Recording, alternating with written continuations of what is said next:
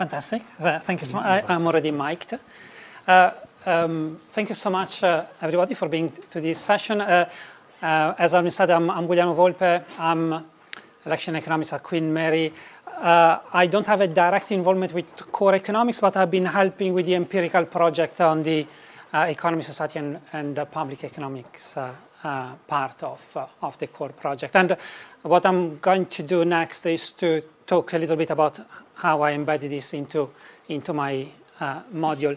Um, with, with Fabio, we had a long discussion about how we should organize our session and so on, who should go first and uh, who should go second and so on, mainly because uh, uh of the, the, slightly different approach that, uh, that we are taking. So I'm taking more a hands-on uh, kind of applied approach, while Fab, Fabio is going to have a more holistic approach to, to his um, session. So uh, what I wanted to do is to talk to you about, uh, oh, well, actually, let me go back a second. Um, uh, Wendy earlier on was talking about uh, the methodology that has been used in uh, uh, the development of a core, in particular the idea of starting from the problem, using data to then try to work out the theory behind it, and then apply the theory to try to explain the uh, unexplained and, so on. What I wanted to do here is to say, okay, so if I have a core, then how can, could I embed it into my uh, teaching in a way that I try to engage my students as well. And uh, what I'm going to do is to show to you two possibilities. I call them the old and uh, uh, the new. Uh, the old one is what I refer to as problem-based learning. I don't know whether any of you has uh, Uh, is familiar with problem-based learning. Uh, has any of you used the problem-based learning in the past? Uh, some, some of you have. Fantastic, because I have actually a problem to give uh, you to, to actually do. So I know that uh, you will enjoy this. to, to be honest, we don't really have, I'll give this to you to distribute. I don't think we have time to do, go through the problem, but what I wanted to do is to start by showing to you possibly, uh, yeah, would you mind, uh, showing to you a, a particular uh, problem. Uh, I linked the problem to unit 5 and unit 19 of uh, core about inequality. Can I, can I just ask you to take maybe a minute to look, to look at the, the problem or the task?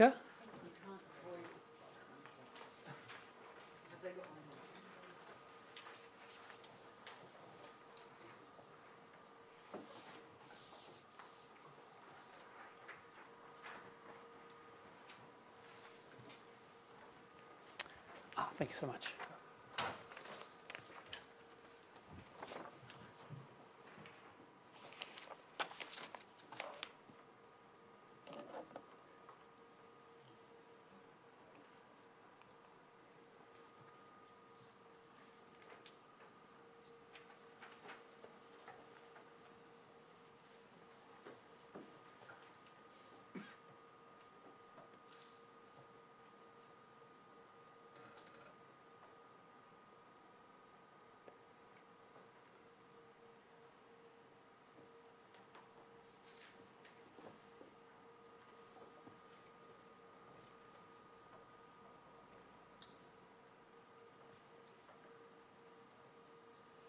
Uh, tell me what, when, uh, when you are ready. But this is basically um, how problem-based learning would start. Uh, it, it, starts with a task. It starts, starts with a problem. And uh, the idea is uh, to drive students' learning not through something that we teach students, but through a discovery process that students go through uh, uh, by the mean of uh, a task or a problem that you as an educator set for the students. And that's, that's the basic essence of, of problem-based learning. So the, the, idea, the idea is that there is a problem that the, the lecturer sets for students uh, to develop. The problem is set up in such a way that the kind of learning outcomes that we wanted to achieve are developed throughout uh, uh, the task. Students usually work in groups on this task, and they work on the task and they produce some sort of response to the teacher, and then uh, the teacher provides some feedback to uh, students. And uh, this is uh, the, the, basic process. So it's an itera iteration kind of process whereby students meet for the first time. They are given the particular task that uh, the lecturer has set, and then there is an opportunity for students to, to brainstorm, ask any question to uh, the, the, lecturer, and then students go away and then work on the task. By the following week, students come back with uh, a, answer to, to the task which they can present to uh, to the class, present to the, to the le lecturer, and the lecturer provides uh, feedback uh, on uh, the uh, proposed answer, and then students uh, go away, and then they complete the task, and they submit their finished work. And this is the, the, the process of problem-based learning. And I think the core material really, in my view, lends quite itself to, be, to this approach, because there is the, the, the whole um, uh, emphasis of core is very much on data uh, driving questions and issues, and really this is very much the foundations of uh, problem-based learning. So if you are looking for a way to embed a core into your curriculum, and if you are looking for a way to uh, engage students actively into their learning, uh, then I think a problem-based learning can be an approach that uh, you might want to consider. Um, there are some issues that uh, you need to, to be aware of uh, in, in this respect. So there are some issues that uh, need to be talked about. One, one is, what, okay, so if the students have to do the work, so what is the role of the lecturer here? And what about designing the task? Uh, what about the assessment per se? And all this uh, should be framed within the, the general idea of uh, what am I going to do? Am I going to do a complete problem-based learning or a partial problem-based learning? Uh, what do I mean with partial and complete? What I mean is that uh, you might uh, consider the, the very radical idea of uh, getting rid of the lecture altogether. So in other words, uh, the learning is really driven by students who do the reading uh, that the task requires them to do. And the students do the research that they are asked to do. And the students produce the output that you as a lecturer set for them. So the idea is that there is no lecture, uh, but there is only support that uh, uh, lecturers provide to students through specific contact time during the semester. The alternative is instead to have a partial problem-based learning where you will still retain the, the, the, lecture, but the actual learning is still driven by these tasks that you set for students. So the, the question is how which way you want to, you want to go. There are examples of uh, both of them. Uh, Problem-based learning uh, was, was born originally in uh, the medical schools, uh, uh, but then spread quite quickly into other disciplines and is taught and is used with large, very large groups and very small groups as well. Some universities have made it uh, its own uh, uh, teaching, preferred teaching approach. So Maastricht University in Holland, for example, tends to teach according to uh, problem-based learning. So that's kind of things that you, you might want to, to figure out. The, the, question is what, what is what would be your role in this in this respect? The, the role of the lecturer is very much about uh, being more a facilitator rather than uh, than a lecturer. So you're not really teaching to the students, but really, you're really facilitating and helping their support through uh, the engagement uh, in the feedback that you provide to students uh, to, to tasks. So the idea is very much to, to facilitate students' learning, provide a regular feedback to students, uh, and uh, manage the group's activities and all the challenges that come with managing groups as, as well. But so, th so the role of the lecturer is to some extent uh, changed uh, in here. The other issue is about the task design. I don't know whether you have noticed from the task I've given to you, I tried as much as possible to be exhaustive in terms of identifying what are the learning outcomes. So what, what is that I want students to learn by the end of this uh, task. And the task is designed in terms of the content and in terms of the questions, in turn to elicit the development of these uh, uh, learning outcomes. And uh, on, the, on, on, the task as well, I try to, to put some sort of uh, uh, time scale as well. So the idea would be that uh, there is week one where you meet with students, you give the task, a brainstorming, and then students go away a week two when the students come back with uh, a first initial response to their task and then uh, you give them feedback and then week three when students uh, deliver the uh, finished uh, uh, product. And so, so the, idea, the idea is that you need to be clear about what you hope students to learn from this task. You want to align the learning outcomes to the activities that the students uh, want to do. And uh, what you want uh, is to think about all the possible kind of challenges or difficulties that might emerge during the development of the task. So maybe uh, you need to look ahead and see will, will, students have all the material that they need to access for this particular task? Will students' uh, timetable allow them to work on a regular basis throughout the week to be able to meet and uh, address the issue and, and so on? So these, these, these are the kind of issues that uh, you, need, uh, you need to be uh, to consider uh, when developing the, the task. Um, it is, a, is useful uh, to try to link up the tasks to assessment, not necessary, but useful to give incentives to students to uh, take the, star, the, the uh, tasks uh, seriously. Surely the task should be used to provide feed, uh, formative feedback to, to students, uh, Uh, but uh, usually it's, it's, good to link the tasks uh, to some sort of uh, formal assessment. Now the task can be any type of task. I've given you a, a kind of empirical task where students need to, to go away, produce some answers and so on, but the task can be can be some posters that students need to produce, can be a kind of a university challenge activity that they need to do. It can be a presentation that they need to do. It can be, can be anything in this respect. Um, group work can be a bit of a challenge in this respect, um, in particular if you have a, a, large number, number of groups. But usually if you make it clear what the expectations are from each student and uh, uh, from their relationship within, within each group, uh, usually you, this can be sorted out quite uh, quite easily.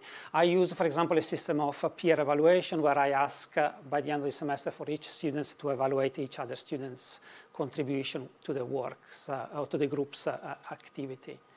Uh, if, if, you have final exam as well, uh, would be good to link this up to uh, problem-based learning as well. So for example, you might ask students to do some work during the semester, and you're telling them that that is some work that will be assessed in the final exam, for example.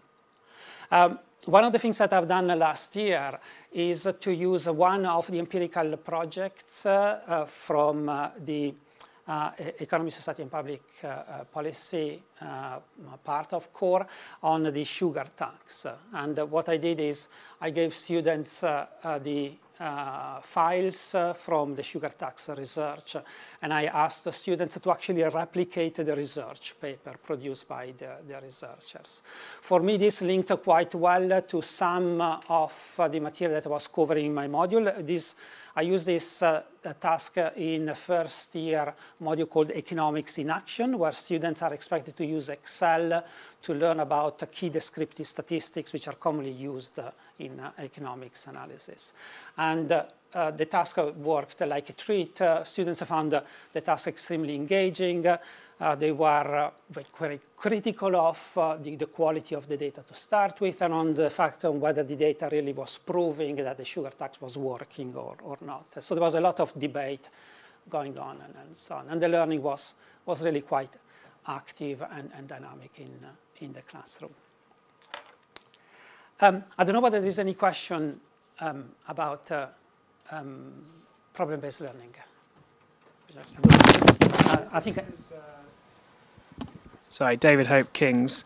Uh, this is really uh, interesting uh, way of teaching. I'm just wondering how in the courses where you use these types of methods, how, how you fit it in with, uh, say, the structure that we have for the, the Principles of Economics, which uses core, is two-hour lecture and then a one-hour seminar per week.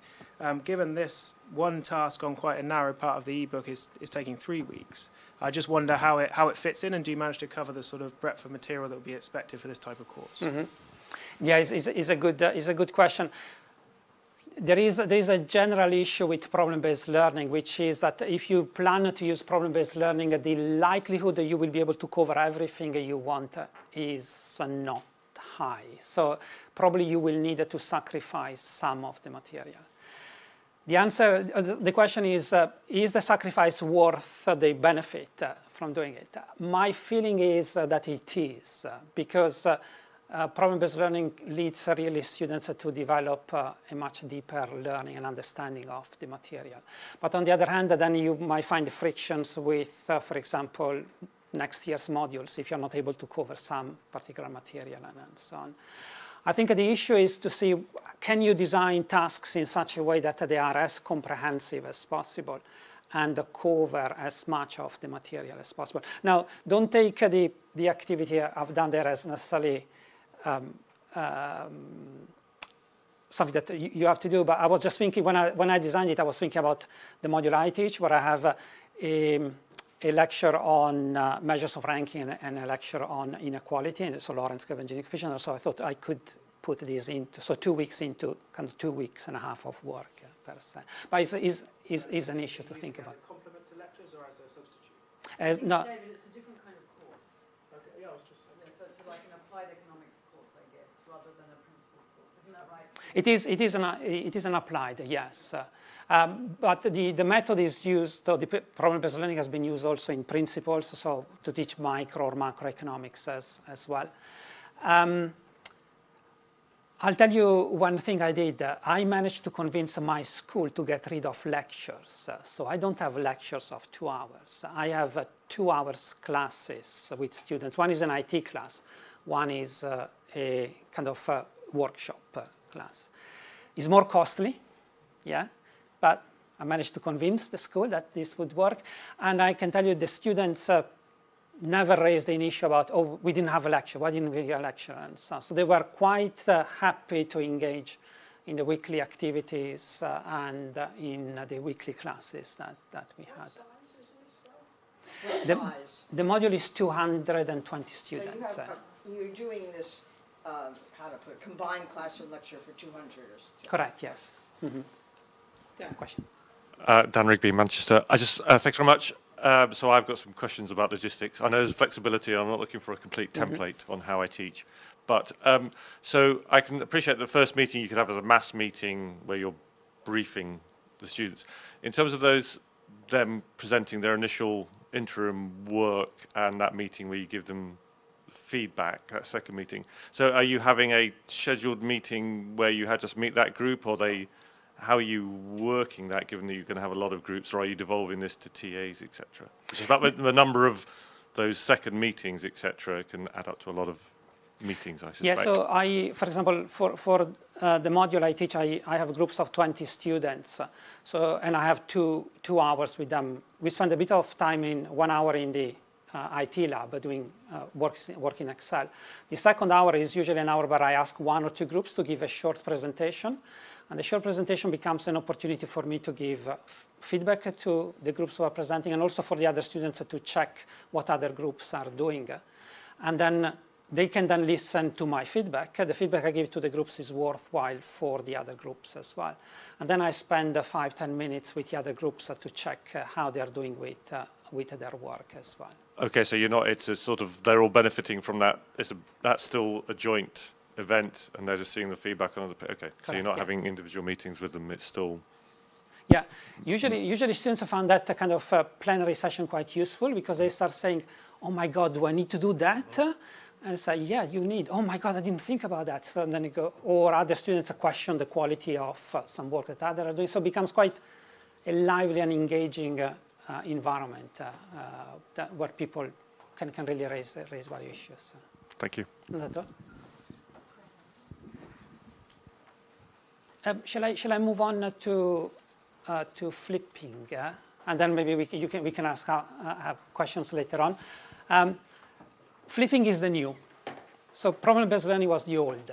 Flipping is the new. I always find it a bit difficult to reconcile uh, flipping new with uh, the, the old, but anyway. So flipping flipping is the new, and uh, uh, again, uh, the, the, the, idea is that uh, we might have, uh, I don't know, a hypothetical week 10 where we have a, a particular topic which is income inequality. And what you are asking to do is to tell students, look, guys, next week, week 10, the weekly topic will be uh, income inequality. So what I want you to do is uh, to read the units uh, 5 and 19 of core. And what I want you to do is uh, to go on the VLE, look at the videos that I posted up there, and also read the additional notes and material that uh, I have posted up there.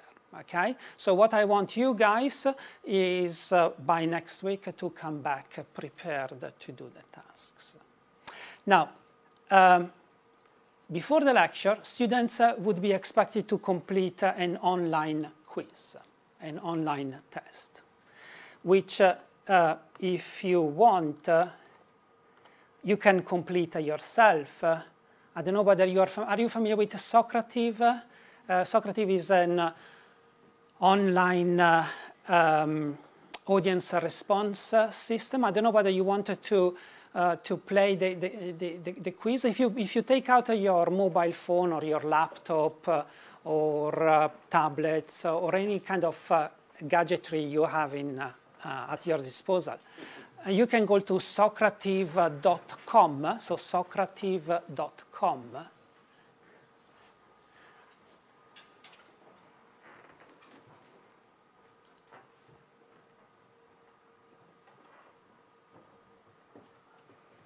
And uh, under Socrative.com, you should find uh, a menu which allows you for uh, students, uh, student login. And for student login, you should specify uh, this uh, code here, VOLPE, V-O-L-P-E, 1265. That, uh, sorry, is V-O-L-P-E, 1265. That's the code to give you access to the quiz. V-O-L-P-E 1265. So V for Victor, O for O, L for Lima, P for potato, E for elephant, uh, 1265. You need to log in as a student.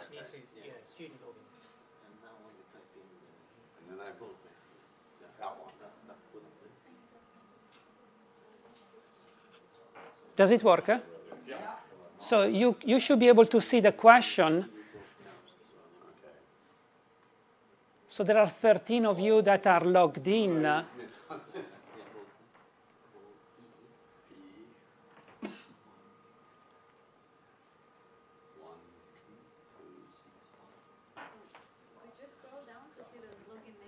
sorry, the, log the, login name, sorry, I don't know why it's so invisible, uh, is VO LPE. Oh, got to enter my name now. Yeah. 1265.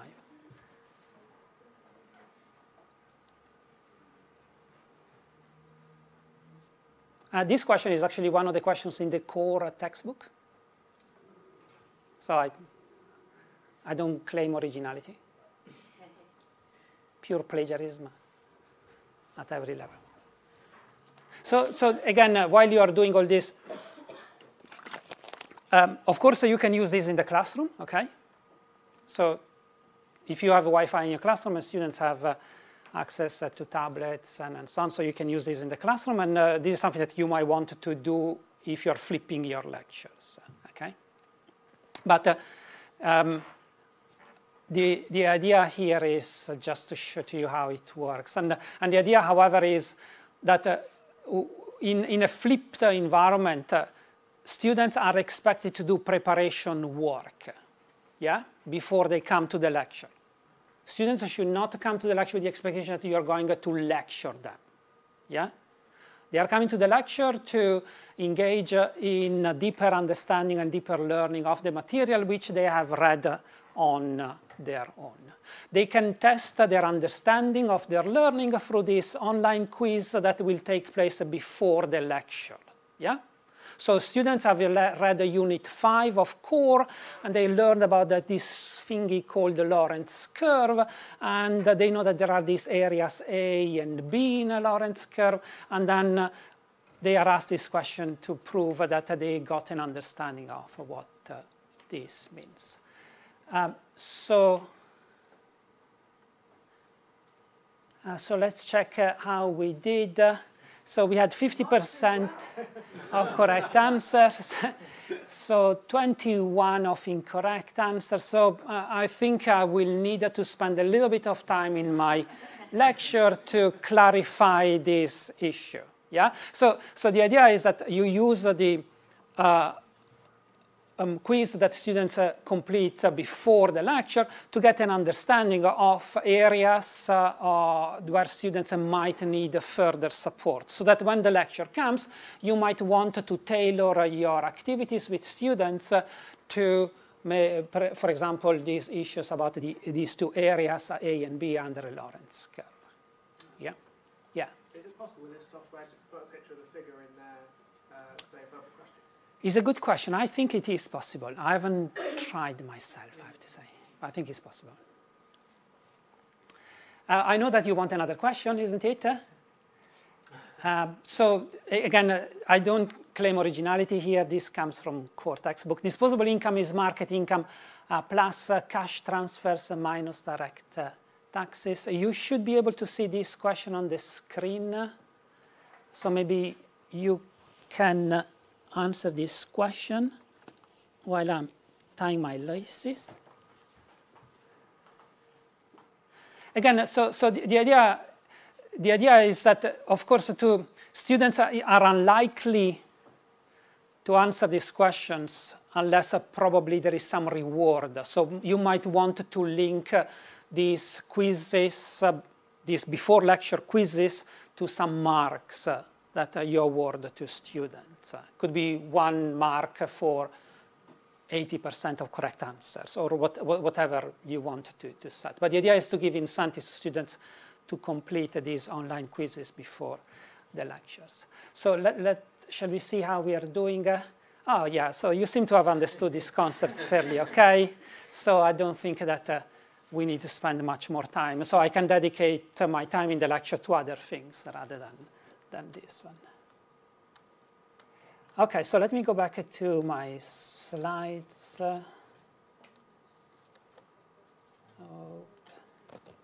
So, so the idea is that the students have done the, the reading in advance. They, they took the, the quiz uh, and then they are coming to lecture. What are you going to do in the lecture? Are, are you going to teach again? No. The, the lecture should really be driven by, again, tasks, uh, problems, activities uh, you have set up to help a student foster a deeper understanding of the material. You will have some understanding from the quizzes, uh, whether there are areas where you need to work a little bit more, but the idea would be to have a set of activities that uh, can help foster a greater understanding uh, of uh, uh, students.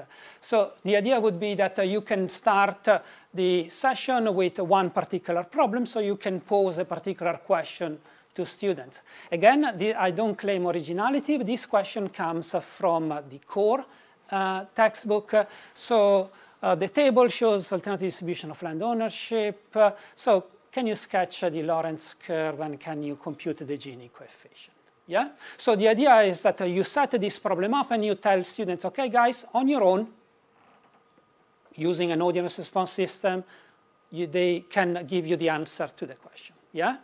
So then what happens uh, is that uh, students think and then they vote. So they produce the answer to you. And then at this point, you will see what the answers are. Probably you get a distribution, some get it right, some get it wrong, and then you tell the students, hey guys, why don't you talk to whoever is next to you, group, little groups of three, two, three, four people, and then have a discussion on what you think is the actual correct answer here. And then what happens is then the students vote again, and then there is a quick class discussion to iron out any misunderstanding or uh, any issues that need further clarification, and uh, then uh, you confirm, and then you summarize. And then you move on for the next, to be the next problem. Yeah. How do you, yeah, Sorry. How do you incentivize the students to participate in the quiz in the lecture, or, or do you still have uh, some kind of assessment marks attached to that? Uh, I, I don't. I think uh, students usually like uh, these kind of activities in the classroom. They don't really need. Uh, I mean, if, if you set a problem, which is a bit of a challenge, uh, then they really want to show that they can they can do it. So my experience is that uh, the, the moment the moment you start doing these things, then they, they participate. So you, I don't think you need necessarily to, to, to do it. I think Fabio can can also provide more evidence uh, about it. So, so the idea is that uh, you have this, uh, this uh, cycle in, in the class where you, you set up these various problems. And what you do is that you design these problems to make sure that the students uh, get a deeper understanding of the material you want them to learn from the activity. But the idea is what? The idea is that you don't spend two hours flat out teaching about a particular topic, explaining and so on. You have the opportunity to engage with students at a deeper level, get a bit a better understanding of what they understand of the concept, and also you get an understanding of how do they think about the the problem. So they, they will tell you, oh, the answer is this. And you say, "Mm, how did you get there? And uh, so you get a better understanding of their thought processes, which is of, sometimes often something that we don't always get uh, from, from, from students. So the idea is the idea of uh, then having uh, students uh, helping each other. So this peer instruction is very much uh, at the, the center of the process here, with students helping each others out to get a better and deeper understanding of the subject. And then uh, Fabio will tell you a little bit more about this in just a second.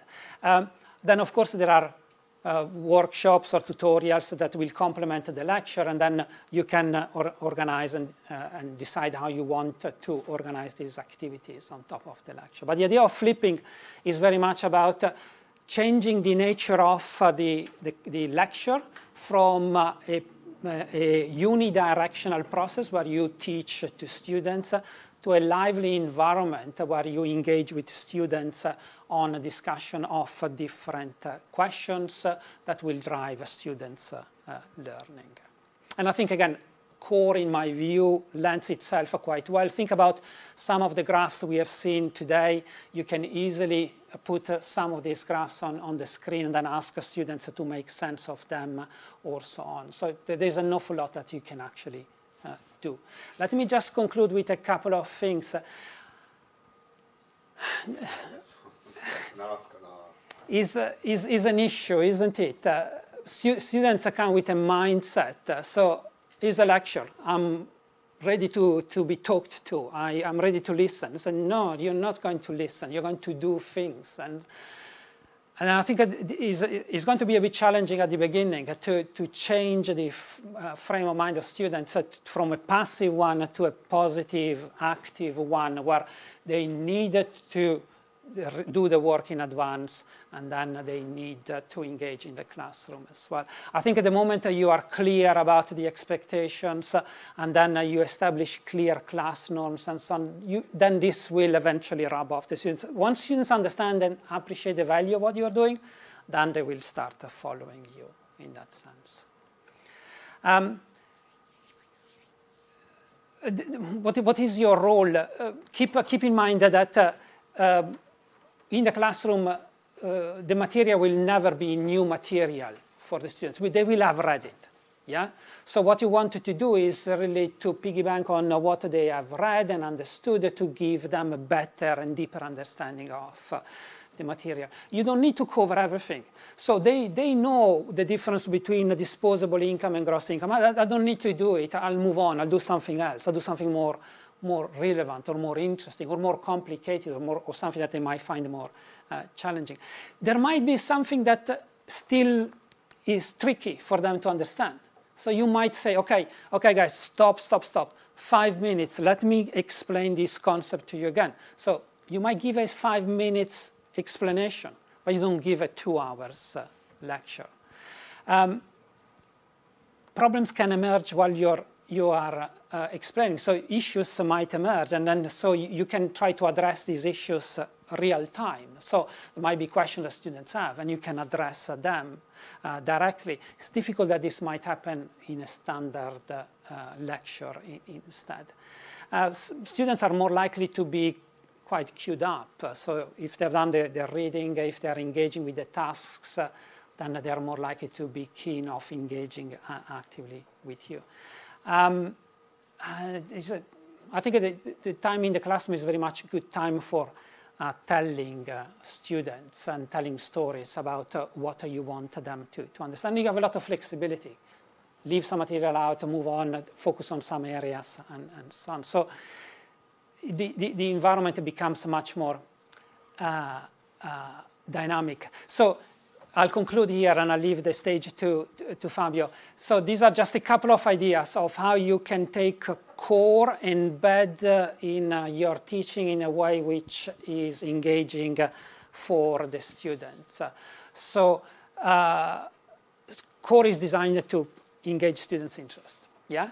So what you want to do, harness it by engaging actively with the students in the classroom. Sorry, Guglielmo, just quickly to pick up on this issue about um, how to get students to engage with the material beforehand and actually read it.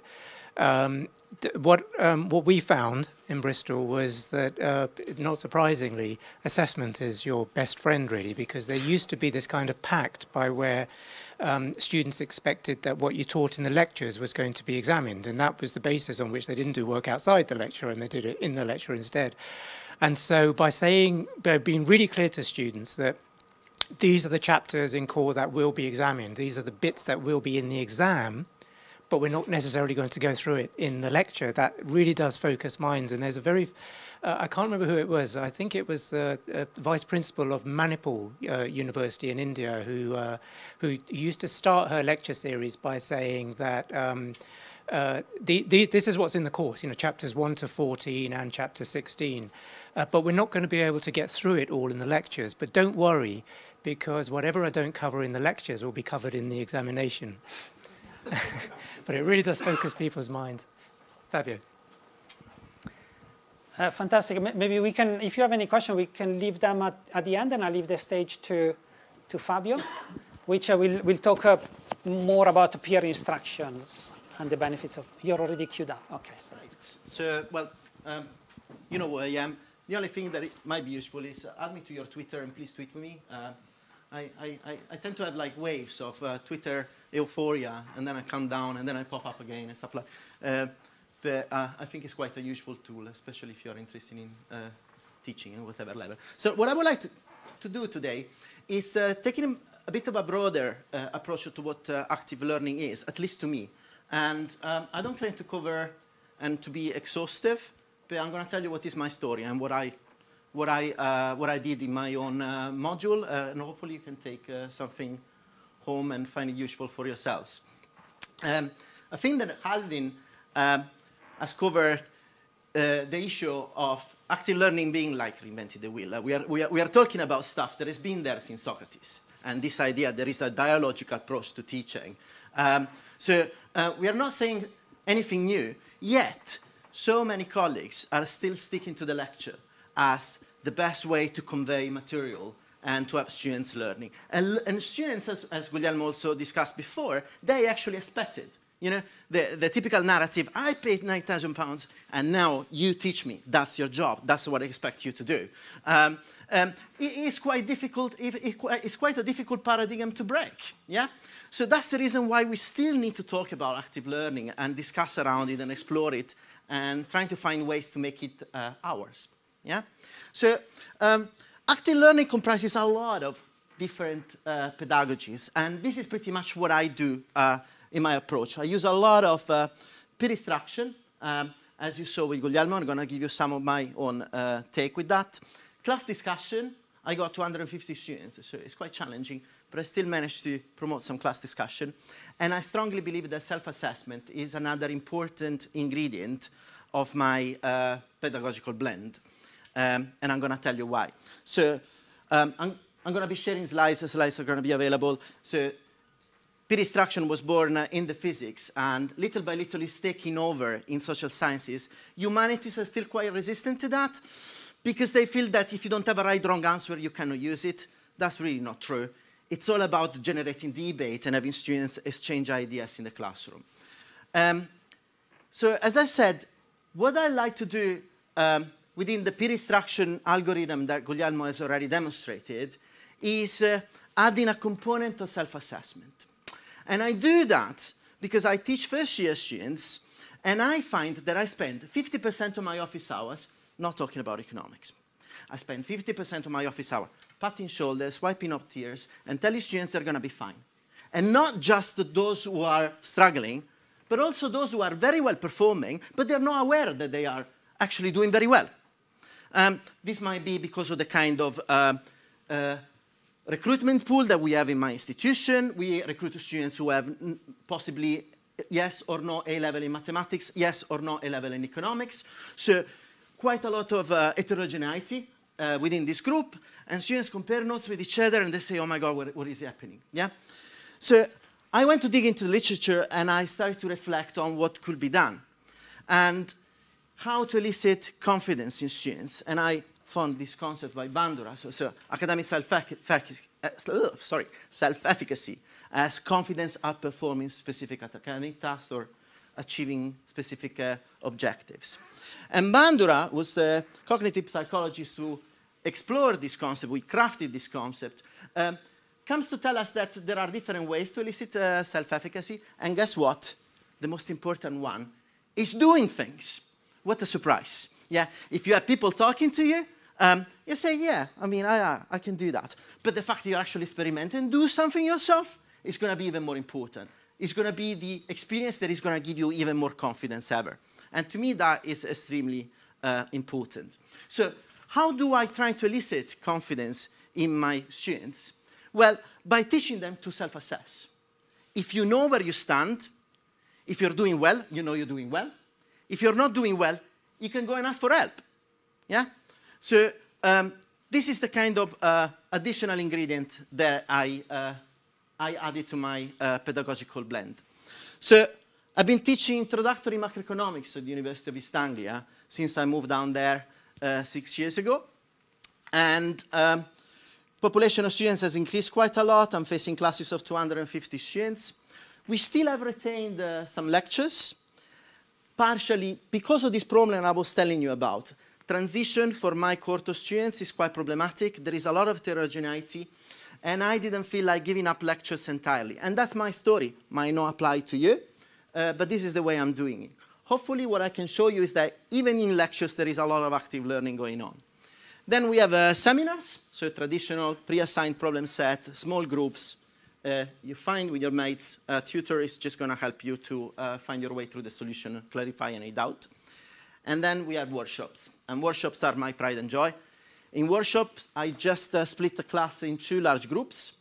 Students walk into a problem set I've never seen before. It's all multiple choice questions, and there is a lot of instruction going on. I'm going to show you in a second uh, what I'm doing. So, as I was telling you, um, even in lectures, um, I retain lectures, but even in lectures, I there are a lot of elements of active learning that are still present. So you can still transform a lecture in something that is quite active. Um, the easiest one, Socratic questioning.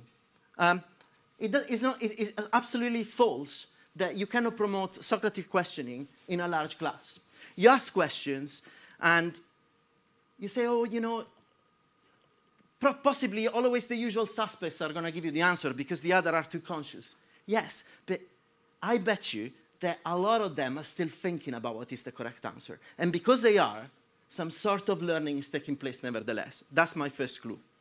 Um, so to give some sort of continuity, I ask questions about what happened in the previous lecture, and so similar to what Guglielmo does in the pre-active learning phase in his own, uh, in his own uh, class. Um, when I cover a particular challenging topic, I immediately ask a question to check whether the class has actually got it and clarify any doubt before students take it home and crystallize it in some sort of very wrong uh, ideas that shouldn't be there. So formative quizzes during the lecture.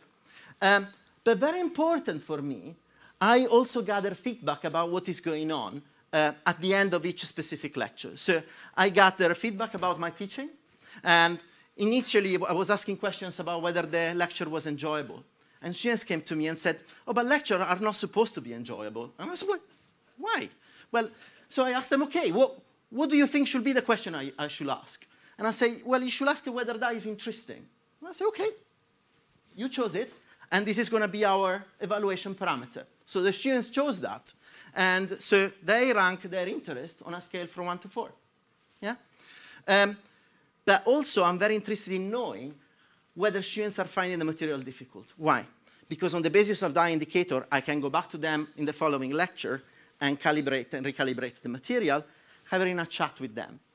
Um, so I use clickers to do so. We got uh, uh, Likert scales or multiple choices according to what you're asking opinion questions, ranking questions, or uh, uh, correct versus incorrect choices. I have a dialogue with the students because when this distribution of agreement or disagreement, confidence and not confidence appears on the screen, I go pointing at different groups of students.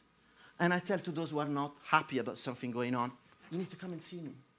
Come and see me. I got office hours. Come and see me. You know, um, I was asking students, uh, uh, we were joking about what is the mantra that each individual lecturer has. And all of us have our own catchphrases that we keep on repeating when we are in the classroom. And apparently mine is come and see me. but it's good. It's good.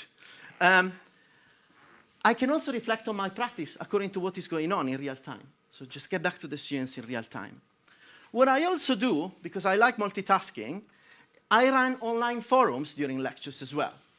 And um, so basically, um, the kind of software I use is Go but you can find many others. This is my favorite, in my opinion, in terms of forums. It works very, very well. Um, for each lecture, there is a code. So for each lecture, there is a, an open room. And as soon as the material is available for the students to see before the lecture, students can start to ask questions. And so uh, I walk into class and questions are already there. Some of those are already there. Um, students are free to ask anything. And this is pretty much up to the fact that I'm prepared and open to do so. Um, it might not be your cup of tea, so you might want to focus uh, the students on asking questions about topics. So I get all sorts of questions going on. Um, why do I indulge and ask any kind of ans uh, um, uh, answer any kind of questions uh, that students ask? Because that's one of my tricks to keep them engaged. So in the middle of the lecture, I, you know, I might get a question about which football team I support, and I say Juventus, and then I carry on. I hope nobody has a problem with Juventus. Um, uh, and I, then I carry on, you know. All helps keeping the students engaged. These are little tricks, you know. They're not going to gener generate huge learning, you know, but they're all little tricks that actually work. Yeah.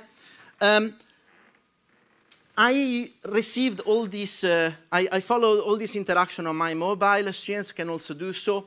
I don't feel like uh, splatting everything on the screen because every, anything can happen in real time. So uh, there is a bit of multitasking. There is me teaching, scribbling, uh, working on the computer, and checking my mobile as the forum goes on. But trust me, I can do that. So I'm sure you can as well. Um, and um, but the important thing is that there is a commitment that everything I'm not able to cover in, uh, uh, in real time is going to be addressed at the end of the lecture. Um, once I post uh, feedback material on the VLE, everything is going to go there. And trust me, a lot of questions are repeating themselves. You know, students have common issues, common points on which they're actually struggling. So um, after building a sort of a answer bank, you are uh, capitalizing on what is going to happen the following time you run exactly the same session.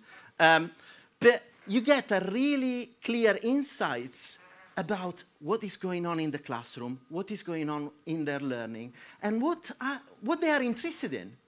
They ask me a lot of questions about what's going on in the news, and, and I think it's great. Um, uh, so I am willing to engage, but rather than me posing them an issue, I just follow up on what they're talking about and trying to link into what we are covering in terms of theoretical material, um, in terms of the model that we are exploring in a particular session. Another very good uh, point is uh, solving the true velocity system. What I was telling you is that in first years, our population is very heterogeneous. We got students with background and students with no background. So we got students who are struggling on one side, and we got students who will say, oh, I've seen it in A levels already, why you're telling this to me again? So you're teaching to the average, but no, nobody's in the average group. And how can make everybody happy? Well, fact is that, you know, by running parallel conversations or allowing students to run parallel conversation, nobody gets bored. And, and this to me is, is really, really helpful to, to keep the students who are already seen the material, especially in the first semester. Second semester, pretty much everybody is already on the, on the same boat, you know. Um, helps to keep everybody engaged. Um, and, uh, and creating a sense of community. Students can respond to each other's questions. So there is no even need of my intervention, and that's the reason why I can manage to cover so many questions. The students are helping me doing my job. Um, so that is uh, so that is pretty good. Um, but let me tell you about workshops. Workshops, as I was telling you, are my pride and joy. It's the real moment where the class is completely flipped. Um, so students walk into a problem set of, say, something like uh, 8 to 10 questions, multiple choices, four possible exits. This is the way I do it. You can craft as many as you want. It's a two-hour session, possibly physically the most tiring ever.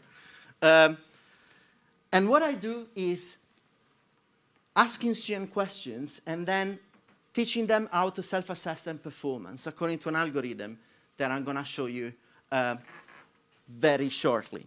So um, this fact allows me to cover and to address the issue of how to raise student confidence as well. So let me tell you about my teaching algorithm. Um, Guglielmo has already covered uh, one that is very much uh, uh in use. Um, all of those using peer instruction, my contribution is adding a self-assessment component to this. So I ask a question, students are going to respond, the distribution of answer is not revealed, and immediately after, I ask students to self-assess their performance or how they feel about being able to address the question. Yeah? So question, I'm going to show you an example in a second. In this case, I do reveal the distribution of answers. Why? Because I want students to see especially those who are struggling, that they are not the only one. Every student, or the majority of students who are struggling that I met in my career, they feel they are, they are the only one. And they're very conscious about that. And showing them that they are struggling along with another group of students makes them feel much better. Yeah? So um, I show the distribution of answers. Then I invite students to talk to each other. So the peer instruction is taking place. And then, guess what? I ask exactly the same question again. I sometimes I reveal what is the correct uh, answer at this stage. Some other times I ask them to self-assess first prior to revealing because I want to check what's the impact of me teaching the students rather than then talking to each other generates on, uh, on the effectiveness of my uh, approach. So this is the kind of teaching algorithm. So these are samples that I give uh, when I talk to no no, non-economists. So I asked a very simple question, but just to give you an idea, this will be round one. So you ask a question for a possible exit, and then you go round two.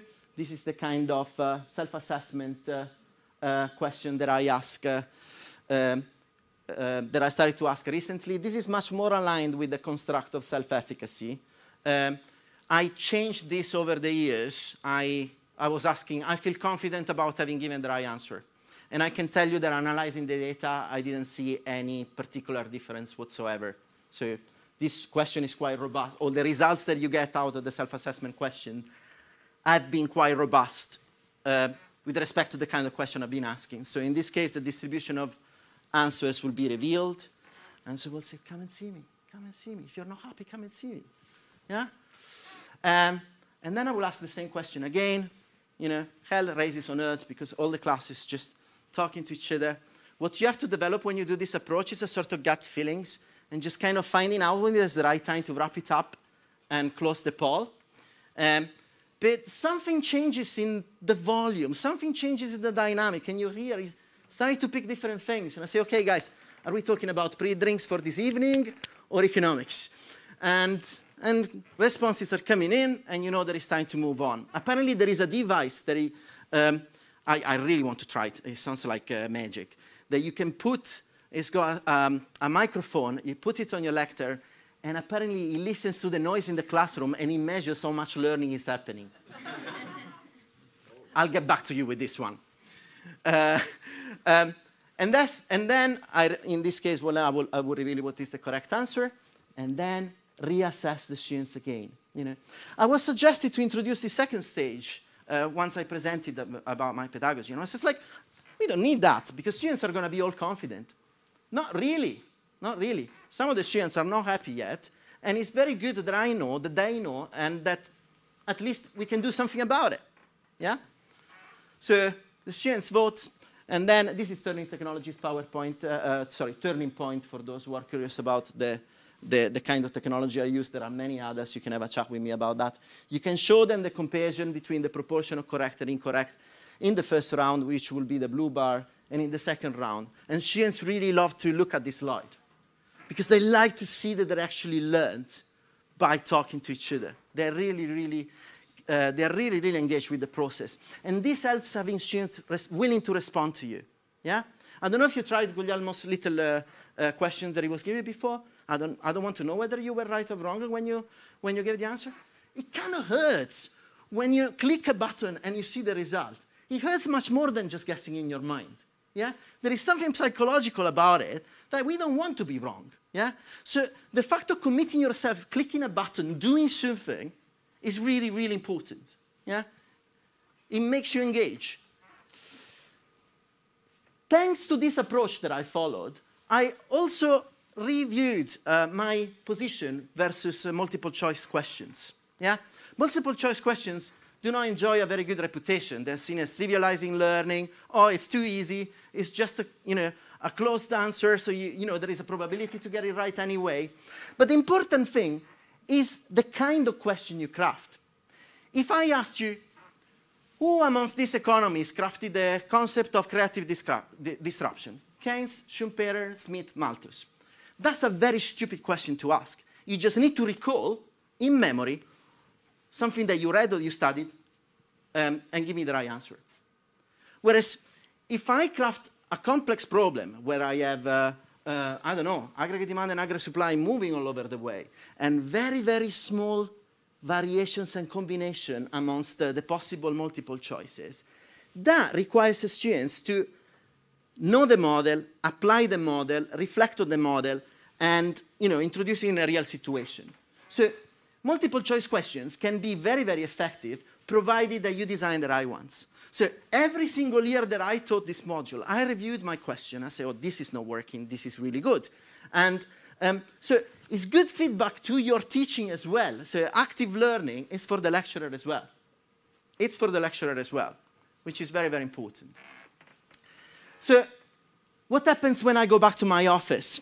I download all the uh, responses that I get from my students and uh, I start drooling because I see an Excel spreadsheet full of, full numbers. I start to code stuff. So very, very simple. For instance, I just call the one with N0 correct or incorrect, one and zero as confident, not confident. And then you can do all sorts of analysis. But in my opinion, a very important one is this. So um, in, this is, for instance, for one individual workshops. I can tell you that it applies to all the sessions that I run. Uh, the students who class themselves confident are generally the high attainment one. And the students who class themselves most of the times are not confident, generally they're non attainment. And you might see, you might say, duh. Um, well, if you were expecting the result, you would be wrong, because there is a huge psychological education, uh, um, educational psychology literature uh, that claims that those who are underperforming are also extremely bad at self-assessing their performance, which is disastrous which means that students who are struggling are those who are never coming to see you, and not just because they're lazy, but because they don't even have a clue about what's going on with their learning. Yeah? So this result is actually very good. Yeah? And, and it's not obvious. So for the record, this effect of like being not very uh, proficient and being aware, unaware of it is called Dunning-Kruger effect. I got a counterfactual for you because uh, I alternate a week workshops and a week seminars. So in seminars, there is no active learning. At the beginning of each seminar, I, see, I give them a simple paper worksheet like this. So they got three or four questions, same format, they give me an answer, and they rate their confidence as well. Um, and then I compare the results between uh, seminars and workshops, and guess what? Same lecturer, same material, same students, similar format, but not exactly identical, and the results are completely different. So the Dunning-Kruger effect appears here as it is uh, predicted in the literature. And that to me is a, an indication, I don't want to claim, proof, but it's an indication that when I work within an active learning environment, things are actually working quite right. I cover one question at a time, I have students talking to each other, I have, I, they are focused on task, and things are working. If they go through the same problem in a traditional way on a, on a test uh, sheet, things are not working as well. I was telling you about the feedback that you get out of that. So active learning for the lecturer, active learning for the lecturer. What you can do is looking at the number of correct responses the first time you, you ask a question, and look at the learning that is generated from peer instruction, which is the difference between the second time students answer a question and the first time students answer a question. Yeah? So learning gain here and initial response. Same thing you can do with the confidence because you ask the self-assessment questions twice through. And what you get is something that is quite common in uh, the peer instruction literature. If the initial proportion of responses is very little, the correct response is very low, obviously knowledge is not going to spread in the class. So the learning gain is going to be very little. If the initial proportion is very high, you crafted that question too easy. Therefore, there is not going to be much learning. Students are learning, a lot of students already know the answer. So you can estimate what is the perfect, the ideal proportion of students that should respond correctly in the first round in order to generate a maximal learning through peer instruction. And I sit there, look at my questions, and I say, okay, this question is too easy, this question is too hard, and every year I recalibrate.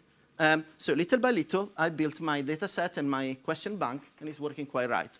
Same thing you can do with the confidence question.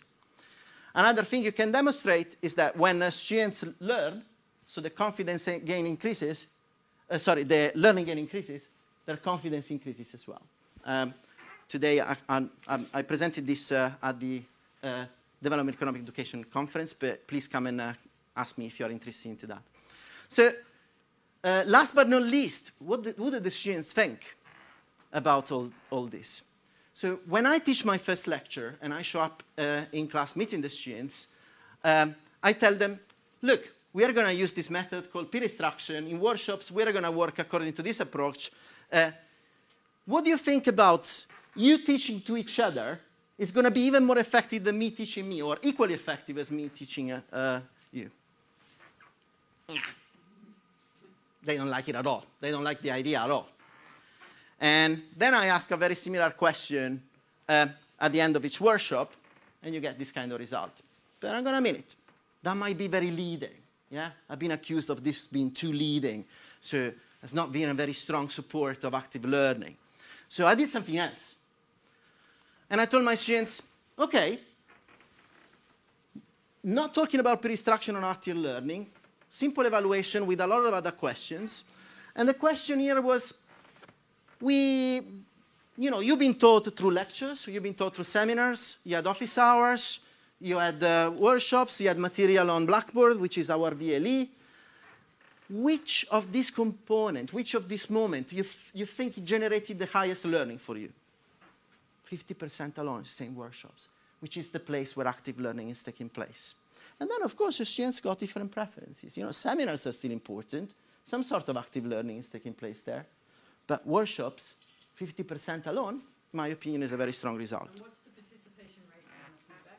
Oh, this was, uh, uh, I don't remember uh, precisely, but it was very high. Um, because this I gave paper in class. So it, it was very, very high. I had my whole class. I think it was a revision session. So, um, so what I would recommend if you want to engage with this is, you know, um, give feedback to the students. Tell students what you're doing. There are no secrets. And they actually quite like to hear why this pedagogy is working, what is going on, why you're doing what you're doing. Especially if you're doing something that is quite alien to them. It's quite important to treat them as adults and saying, I'm doing this because of that. Yeah? Um, get back to them. So I, I provide a report on uh, Blackboard about what is going on. The technology you use, which, whatever it is, is probably going to be able to produce nice reports about distributions, and uh, all this can actually go online. And the important thing is that you can find your own balance. You can adapt that um, and see what that is suitable to you. Um, I presented you with quite a lot of stuff, and, and there will be even more. Um, it took me five, six years to develop all this. You know? So if you never experimented anything in terms of active learning or peer instruction, uh, by all means, don't get scared. You, know? you, you start small but steady. Strongest table is not, you know, you start, uh, you know, steady, and you know, try to flip one workshop, and then you flip two workshops, and little by little, you see to which extent you're willing to go. Um, giving up material, that's, that's extremely important. You know, that question was asked before. Um, what, why are we so obsessed with this idea that we need to cover stuff? Are we supposed to cover stuff? Or are we supposed to teach students the ability to solve any kind of problem they're going to encounter in the future? Yeah? This to me is much more important. So you can cover three topics, you can cover five topics, you can cover a whole textbook. But the important thing is that students, once they go out there, are able to solve these problems by themselves. So if you teach students how to solve problems by themselves and to know where they stand, in my opinion, mission accomplished and well done you. So um, it took me time to give up material. Every year I've been cutting a little bit, um, but I will never go back. And it takes, uh, it takes some courage um, because we are attached to it, you know, and, and probably we've been taught in a different way as well, you know, um, which makes it difficult, um, but it's most certainly uh, worthwhile. Um, and by all means, if you are interested in doing some pedagogical research, or if you are doing already pedagogical research on this or related topic, do please get in touch, because I'm more than happy to share uh, what I'm doing with you, working with you, helping you out with the data analysis and whatever. And some shameless promotion, something is coming out uh, very, very soon um, on International Review of Economics Education, so you can see a bit more of that uh, online very, very soon. And uh, that's me done.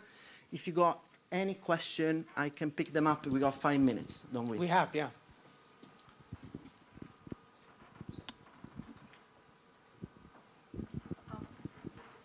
This is really for both of the presenters because one is really not uh, flipping lectures but um, abolishing them. And uh, you are not quite doing that, but it seems to me that even the word lecture is misleading, that in both cases, um, you're not abolishing meeting with the group.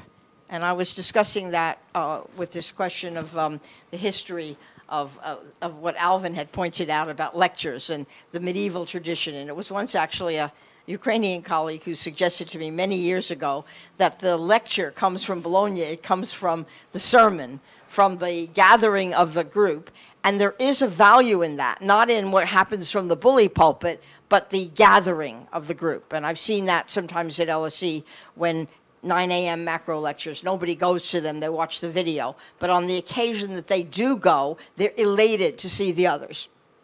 So I like that idea very much. The question is, how are we going to get this across to people? Okay, that is in this room. I think we, at least I, I wasn't even sold. I just love the way you, you both put it. You know, I, what I learned from you was how to say it, but I've already shared your views. And, and the two variants are possible. We don't have to argue about which is right.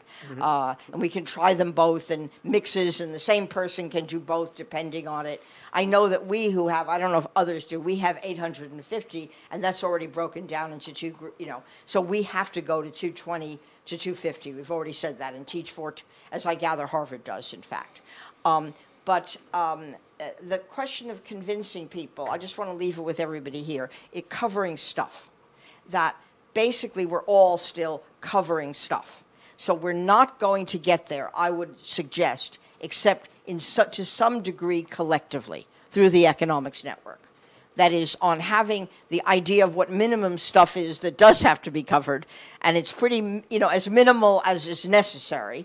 Understanding that maybe too much, but a lot of our stuff is driven by the fact, in many places, and that includes you, um, that uh, at least 25 to 40 percent of the students will have things like the Government Economic Service, the Bank of England, graduate work, banks that use econometrics now, all these things. So there is stuff to cover, right? It's just a question of minimizing that stuff. And I think that has to come with some statement. I mean, we don't have to put it out like stop covering stuff, but some sort of agreement on the minimum core curriculum or something, um, so that when it's not on it, it doesn't have to be covered.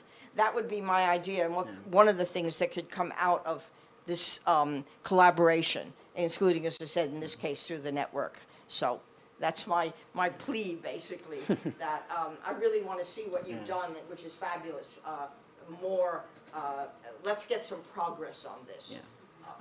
I would say that uh, you, start off, of course, within your institution, and some sort of constructive alignment must be there. So um, the way I've done it and the way I was so relaxed about, trust me, it took me time. Man. It took me time.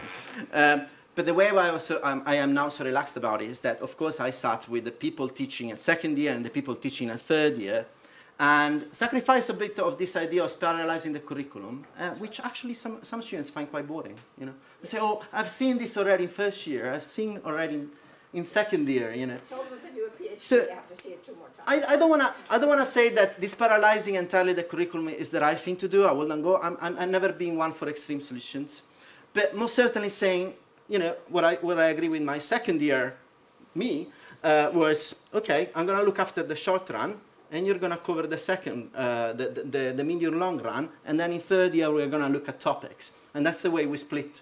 Uh, we split uh, the job for, uh, for all of us, and that's the way we solve the problem. Uh, obviously, if you follow a textbook very tightly, you know, each textbook co- cover everything from beginning to end, and we were having this discussion today. You choose what is right for you, even out of core, you choose what is right for you, and how to make it good for your institution, for your students, and for you as a teacher as well, I believe. I don't know whether Guglielmo has No, I'm- something to add.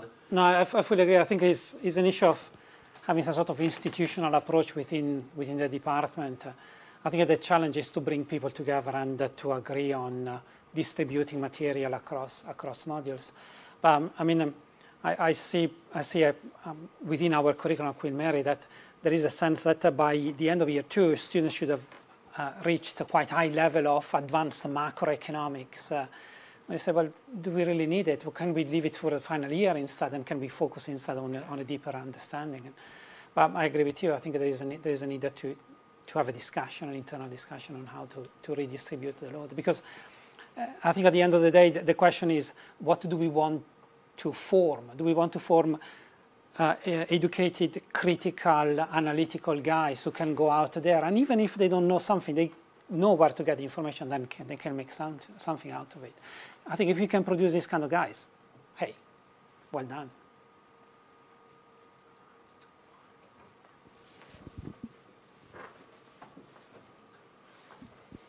Uh, so I love the idea about engaging the students, asking questions. Uh, but all the questions that I've seen were pretty much straightforward and like testing concepts. So I was wondering uh, how w- would you deal with quantitative questions or questions that like you already tested the concept, but then you want to know if the student can apply that question to a certain context. So uh, yeah, you already tested the concept, and then you want to know if the student can apply that question to a given context. So like it takes more time, so they are not so quick a- as those questions. And also maybe they're they're more quantitative, so it's harder to test them as multiple choices and so on. Um, the problem with, I mean, the, the problem that I'm facing is that obviously I want to promote active learning in a large classroom environment. So I have to come down with some compromises. So multiple choice is the only way that I can handle this number. But the idea is that the peer instruction is kicking in then and students are teaching each other. And students has got this advantage that they've just learned something. I learned that more than 20 years ago. And, and that makes me not better teaching than themselves. Yeah. Um, so in a session, just to get back to your question, I will have, I will have, you know, when we consider the Bloom taxonomy, I will have, I will have questions that rank uh, differently on, uh, on, on the Bloom's taxonomy um, pyramid. So, I mean, I might actually find it useful out of eight, 10 questions, have a couple where I'm recalling concepts here and there just to make sure the students are there. But those are actually going very fast. So the time that I'm going to devote to this question is very fast. Students give me an answer pretty fast, uh, hopefully. Um, and then I can try to climb up. You know. So generally I cover two lectures for each workshop that I run. So I go, I don't know, uh, labor market and aggregate demand and aggregate supply as a topic. Yeah. Um, so I'm going to overarch across all these topics and build little by little. And then I'm just going to move in waves. I mean, I don't, have a particular plan uh, about difficult, easy, difficult, easy, but there are going to be some numbers playing and some model applying, uh, some recalling. So even on, on, on the Bloom's taxonomy, you're just going to move up and down. Um, and that's going to help the students because, yeah, you just want to make sure that everybody gets something right. That's quite important for their confidence levels as well. I don't know whether I'm addressing the point you're making. Um, but yeah, little by little, the important thing is that for each of these questions, you maximize the amount of learning that that question is able to generate in the classroom. And so, if at all in the ideal world you want to be here and you want to have the maximum learning, at the end of the day, in fact, you got some trade-offs that you have to face. And only practice, I'm afraid, and only trying and then revising and trying again is just going to take you to a point in which you reach, reach the optimum or you know the best that you can do in your teaching. Yeah, but uh, for quantitative questions, would you set the answers as like ranges or as specific numbers? Um, uh, I don't have many of those, I have to say, because uh, because of the nature of the subject I teach, which is uh, more like moving curves and like so it will be a lot of upwards, downwards, left or right. Um, when I got numbers, I just try to predict what are going to be the possible mistakes the students are making. So, you, you know, is that a number or is the, the inverse of that or is that the inverse of that minus one? And I'm just going to think about which possible mistakes. But there is like a theoretical model on the back of that that leads lead you to take to make that mistake, isn't it? Um, so that hopefully students can clarify to each other what is going on. Yes. So there is a sort of second guessing exercise. Not many numerical. In my experience, obviously, if you teach econometrics or something like that, or statistics, you might have many more of that. So I think um, we'll have to draw it to a close. So can we just thank uh, Fabio and Guglielmo again? Thank you.